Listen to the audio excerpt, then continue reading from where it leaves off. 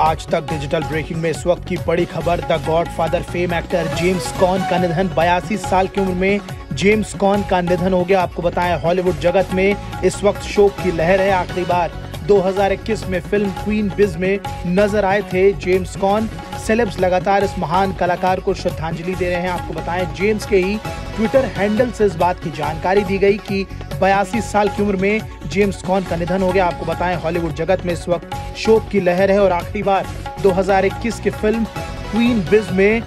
James cone नजर आए थे